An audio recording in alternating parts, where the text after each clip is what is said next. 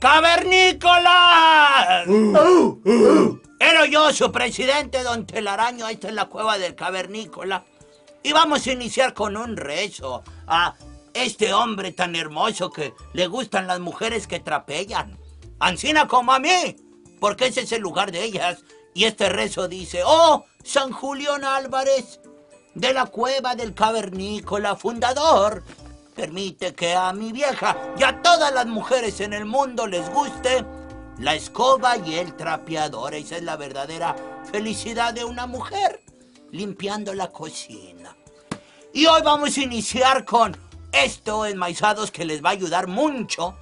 Por el resto de sus vidas me lo van a agradecer. Oyes, very much. Oyes. ¿Cuánto te quemaste las pestañas para tener la carrera que tienes?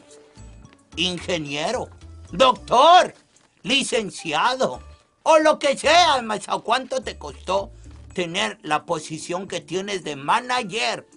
O de nada más estar en ese trabajito, aunque sea de construcción o aunque sea de jardinero. Yo les voy a decir algo, enmaizados. Cuidado con las mujeres en el trabajo.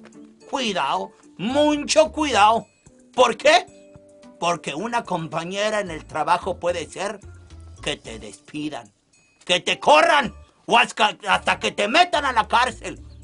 Ancina es. Y les voy a decir por qué.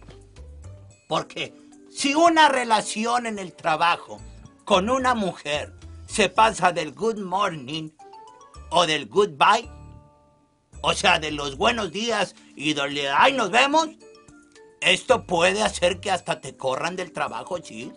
Porque las mujeres siempre les creen todo, los jefes. Tú no tienes la decisión de, decir, oye, maizado, yo no le hice nada.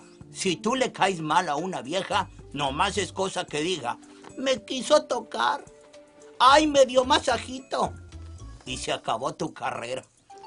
Más, vamos a hablar más de esto en otros programas y en otras eh, eh, de estas eh, educaciones que les estoy dando en la cueva del cavernícola, pero ya me voy, ya me tengo que estoy muy ocupado. ¡Cavernícolas! Oh, oh. San Julián Álvarez de la cueva del cavernícola. Ya me enojé, ahí nos vemos.